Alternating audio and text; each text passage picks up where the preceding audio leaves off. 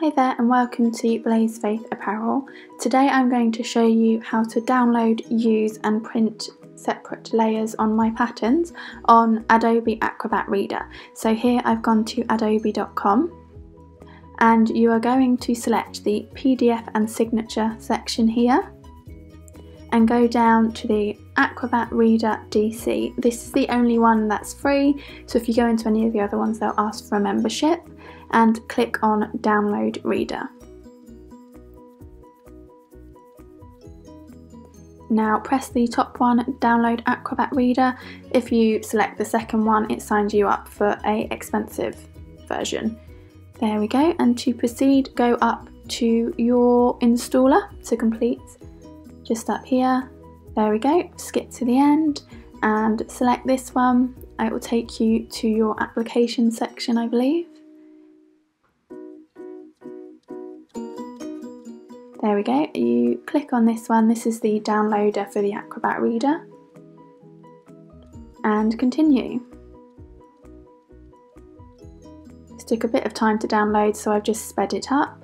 And there we go. And now press close. I move to bin so it doesn't, you know, hang around on your computer. There's no point having the installer.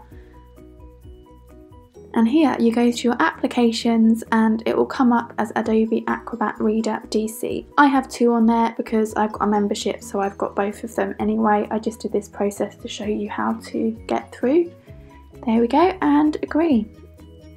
Now you have it all on your computer. I'm going to go up to files and open the pattern um, if you're downloading my pattern or whatever pattern you're using. If it has editable layer capabilities, this is what you need to do. Open your document.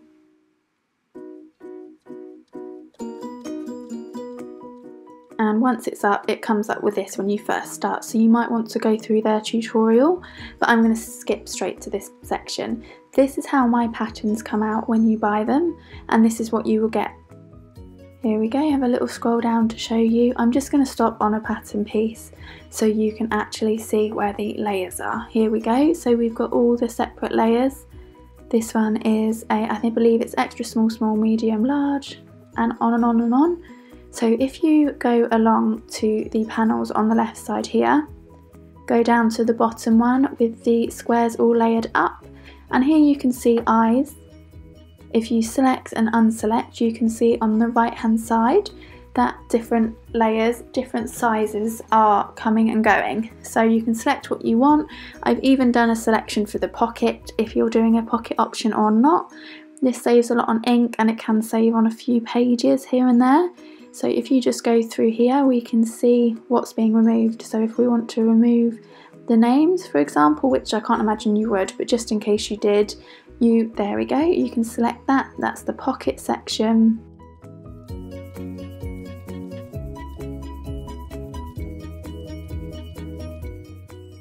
No there we go that's just showing how we can select a few patterns. So I'm going to go for I'm going to keep large and small. Take away the pocket and that's what we're going to print. You can see there it keeps everything else, it just takes away all those sizes that we don't need. Go through to print. This bit's very important, it's already set up manually for me because I always do it, but make sure that you have selected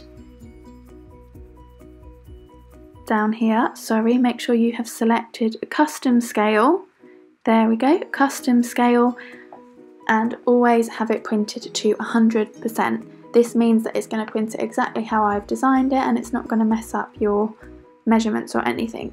If you hadn't seen there, there's a 5 centimeter box on the first page. So whenever you print a pattern, I always suggest printing the first page first and you measure that box 5 centimeters. There's markings on every single page as well with a 5 centimeter or 3 inch marking, so you can check it in many places. Here I'm going through and just seeing if there's any pages that are blank that I don't need to print. You've got to be very careful when doing this because there is occasionally a line at the top that you can't quite see that you need to print, so make that just like up here. This page here I need to print here because there's a bit up the top, but page 26 here I don't need to print. So I'm going to go along to pages and I'm going to do 1 through to 25. and then comma page 27 because that's the extra one I want. And then if you go through, you can see which pages are available. There we go, I go all the way along to the end and it says pages 1 to 26 but in brackets there's a 27 so you know that the final page is 27 so it's not going to print out page 26 for me which is fab so there I've only saved one page but it depends on the pattern and what you're selecting there we go and you hit print and there's all your pattern pieces ready to go to scale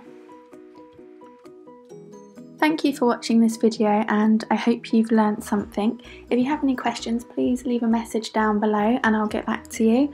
Thank you, I hope you enjoyed it. Please give it a thumbs up and subscribe to my channel for more sewing tutorials and tips and tricks.